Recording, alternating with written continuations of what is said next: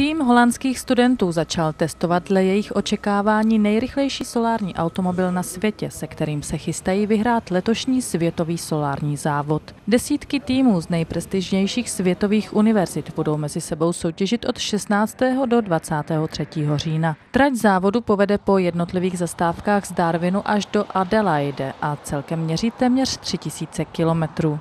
13 holandských studentů na rok a půl přerušilo své studium, aby se mohli věnovat vývoji Nuna 6, poslední verze jejich auta na solární pohon. Auto, které vidíte za mnou, je Nuna 6. Tohle je už šestý model v řadě. Se čtyřmi z pěti předešlých se nám podařilo tenhle závod vyhrát. Studenti už testovali své nové auto v aerodynamickém tunelu Nizozemské národní letecké laboratoře. Auto bylo testováno i s jednotlivými studenty, jelikož i jejich tělo tvoří součást aerodynamického profilu vozu.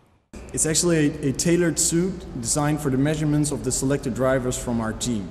Je to oblek určený pro měření s jednotlivými řidiči našeho týmu. Na začátku projektu jsme si porovnali jednotlivé členy týmu a pak jsme opět porovnávali ty s nejlepšími výsledky mezi sebou a z těch nejlepších a nejzkušenějších se nakonec rekrutovali řidiči a jejich tvarům byly přizpůsobeny i tvary auta.